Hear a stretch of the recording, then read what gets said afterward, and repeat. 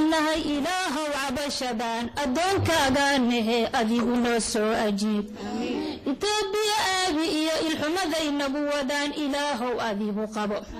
Iblays ubadkiisi iyo israa'iil wada jiraa ubadka ilciroolaha jinkaa askari aan aayad dhigan asluubta wixii ka lumay intaasoo wada jiraa addiinkaynala gale.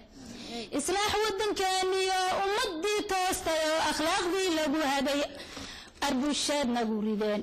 Ilaahbaa mahadda lehe adduunka marag fure isdiidsiis lama ogola.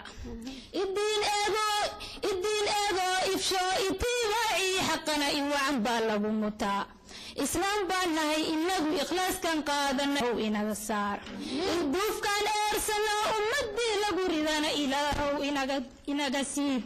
Adduunkan wuu dhammaan ilaah baa loo saxdaa islaamkow aragga saar idaylkansaan u nahay ilkiibaa layna dhigin ayaan baa layna mudin itixaad lagu kulmiyo ilaahoo loo noqdaa umuuraha lagu sugaa inkaar diidmada xaqana ashahaad seegid iyo in xun baa lagu mutaa addoomma haddaynu nahay iimaanku wuu naga xaq yahay ilaah baa saana yidhi israa kii loo diray amiin nabigeenba ilaahay uu ku yidhi itixaad lagu kulmiyo ilaahoo loo noqdaa umuuraha lagu sugaa ishaarada sida ku taal islaamkaa sare noqone ikhwaanow ma ogtihiin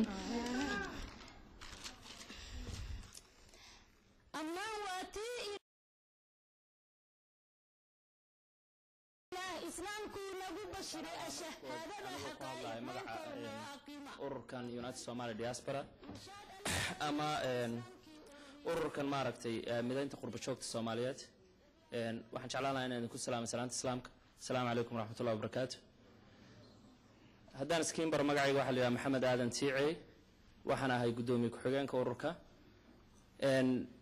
Waxaan aada idinka mahad celinayaa imaanshaha aada isku soo maaragtay dhibteen inaad timaadaan shirkan ama maaragtay meeshan looga hadlayo arrimaha soomaaliya. Waanan garan karaa runtii waa wax idin dhibaya adinkoo dhan iyo annagoo dhanba ururkan waxaa la aasaasay in yar haddaan taariikhdiisa idinka warbixiyo kolley waxaa iga dambeyn doona walaalkay xasan oo ah guddoomiyihii ururka. Octoobar sanadkan muhiimadda ugu weyn oo loo dhisayna waxay ahayd maadaama uu jiro kacdoon qof walba ku salaysan. Qof walbana niyadiisa ku jiro oo marba qof wax qora qof banaanbax sameeya qof dhinac dhinac u orda qof walba ay tabartii ku yar tahay. Haddana waxaan rabnay wixii haddayba kala baahsan yihiin. Maan isku dayna inaan isku keenno ay noqoto mid hal meel looga wada duulo dhibkana haystana kolley dee hal shaksi ama sida soomaalidu aaminsan tahay hal qabiil keliya kuma dhacayo laakiin wuxuu ku wada dhacaya ummadda islaamka ama ummadda soomaaliyeed oo dhan ummadda dalkoodii la haysta wey marka waxaan rabay maadaama ay saas tahay maan isku keenno on ka dhigno hal meel waxaan uga wada duulno. Dad badan oo maaragtay qaarkood meesha fadhiyaan qaarkood maaragtay ka maqan yihiinba way joogeen shirkaas lagu aasaasay ururkan alxamdulilah shirkanna waa kii koowaad. Insha allahna ma noqon doono kii ugu dambeeyay haddii ilaahay yidhaahdo falsafadda ururkan toddoba bilooda la soo dhiraandhirinayay maaragtay inuu dhismo ururkan. Falsafadda lagu dhisayna waxaa ugu weyneyd laba siyaabood. Waxaana ka wadaa waa in aad first horta aaminsan tahay in dalka soomaaliya uu yahay dal la haysto. Etoobiyana gacantiisa ugu jiro. Waxba isuma qarino waxaan xilli waxaa jirtay la ohan jiray yaa reer hebele iyo yaa reer hebele iyo yaa reer hebel iyo yaa ina hebel ah. Hadda xilligii bay ka tagteen xilli waxay timid ideology ama fikrad aad aaminsan tahay tahay. Laba qof oon isku wax ahayn isku qabiil ahayn ay ka dhexaysa keliya. Ah in dalkaas soomaaliyeed aad adigu magaciisa sheegato anna aan kaa xigin oon magaciisa sheegto aanan isla leenahay in la haysto dhulkaas. Marka maadaama aad aaminsan tahay etoobiya in la haysto. Soomaaliya. In la haysto. Thank you. Etoobiyana ay haysato. Etoobiyana ayna ahayn wax la keenay ama lagu soo casuumay aadna aaminsan tahay in aad la dagaalantid. Af iyo adinba meeshuu ilaahay ku gaarsiiyo.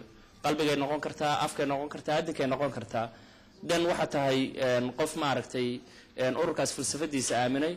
Kulligeenna waan ka wada midnahay waana shacuubta iyo waxa kolley ideologiga aan aan ka higsanayna waan wada aaminsannahay ku dheeraan maayo siyaasadiisa gudaha iyo dibadda in yaraa idinka sheego. Tan gudaha waa waxaan ugu talagalnay inaan ku midayno ummadda soomaaliyeed ee ku nool qurbahan isla shaqayno urur kasta oo u taagan inuu soomaaliya xoreeyo ama labadii falsafadooda soo saaray ee hore ay u midaysan yahay oo ah in soomaaliya xoreeyo time af iyo adinba inuu ka qayb qaato. Inaan midayno lana shaqayno noocay rabaan ha ahaadaan as long as ay aaminsan yihiin labadaas falsafadood. Ta dibaddana waxay tahay inaan ku mushkarayno maadaama aan u s citizen nahay ummadaha kale qaarkoodna european citizen iyo canadian citizen ay yihiin dalkiina aan degan nahay in dadkeenna aan soo dooranay aan ku qasabnay inay siyaasadooda wax ka bedelaan ku wajahaan arrimaha soomaaliya. Haddaba waxaan aada sharaf noo ah maadaama maaragtay shirkan uu yahay kenya koowaad. Martida sharafta leh ee nooga soo safartay qaarkood ay laba maalmood maaragtay diyaarad soo saarnaayeen ayaan rabaa inaan mahad celiyo tutoresa faysiya maaragtay professor mahadalla maaragtay mudane sakriye mudane cabdirasaaq xaaj xuseen iyo professor ibi waxaan jeclaan lahaa maaragtay inaad adinkuna ila soo dhaweysaan aan jeclaan lahaa.